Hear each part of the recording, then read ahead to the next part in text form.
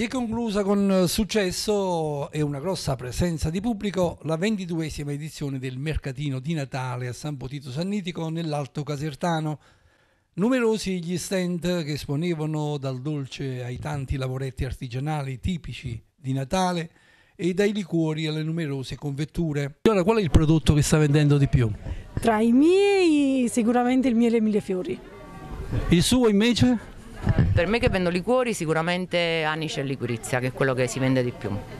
Ma ovviamente non sono mancati tanto attesi manicaretti tipici della zona, fritti al momento davanti allo sguardo dei tanti in attesa di assaggiarli. Signora, che cosa sta facendo esattamente? Allora, i torcinelli che facciamo con acqua, farina, sale e rosmarino.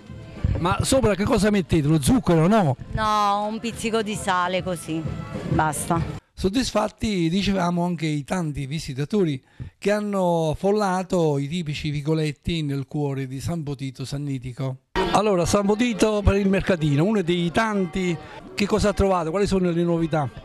Assolutamente, è sempre un piacere mm, partecipare a queste manifestazioni. E San Potito, devo dire la verità, è uno di quei paesi che eh, te lo fa sentire mm, particolarmente perché ci mette il cuore, ci mette l'anima. E come al solito anche quest'anno mi è piaciuto mm, esserci stato.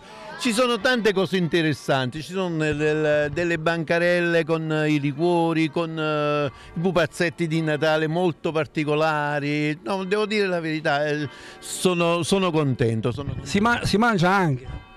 Diciamo che questo ancora non posso, su questo non posso pronunciarmi perché aspetto che si faccia più tardi per assaggiare un poco di cose buone sicuramente. Dal mercatino di Natale di San Potito Sonnitico è tutto. Lorenzo Applauso per casertasera.it.